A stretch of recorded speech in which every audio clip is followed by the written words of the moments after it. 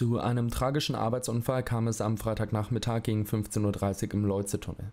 Bei Bauarbeiten stürzte ein Gerüst zusammen und begrub mehrere Bauarbeiter unter sich. Dabei kam offenbar eine Person ums Leben. Das Gerüst war im Leuze-Tunnel in Bad Cannstatt über einen Abfluss bzw. Ablauf des Nesenbaches eingestürzt. Mindestens ein Arbeiter wurde durch den unterirdischen Abfluss in den Neckar gespült. Den Einsatzkräften gelang es dennoch, diesen Mann zu retten. Weitere Hintergründe sind hierbei noch unklar. Wir sind hier im Bereich des Leuze-Tunnels und zwar haben Kräfte der Freiwilligen Feuerwehr, die sich am Neckar auf einer Übungsfahrt mit dem Feuerwehrboot befunden haben, festgestellt, dass eine Person im Neckar getrieben ist. Diese Person wurde durch die Feuerwehr gerettet und erstversorgt. Und kurze Zeit später wurde dann über den europaweiten Notruf 112 ein Betriebsunfall im Bereich des Leuze-Tunnels gemeldet. Bei diesem Unfall wurde eine Person tödlich verletzt, also ist tödlich verunglückt.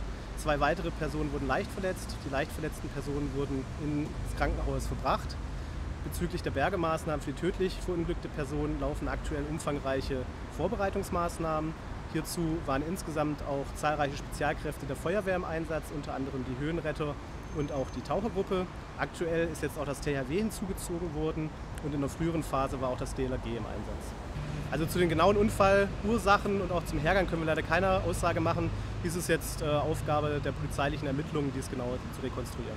Heute Nachmittag hat es ja ziemlich stark hier in Stuttgart geregnet. Ähm, ersten Ermittlungen nach ist dabei der Nesen, Nesenbach so stark angeschwollen, dass er einen Gerüst zum Umstürzen gebracht hat, der sich auf einer unterirdischen Baustelle unterhalb des Leuze-Tunnels befindet. Ähm, die beiden Mitarbeiter, die sich auf diesem Gerüst befunden haben, die wurden mitgerissen. Einer kam dabei auch ums Leben.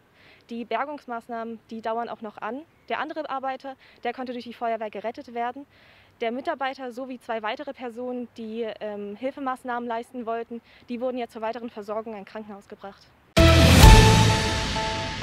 Wir hoffen, euch hat auch dieses Video gefallen. Lasst uns ein Like da, abonniert den Kanal und schreibt uns eure Meinung in die Kommentare.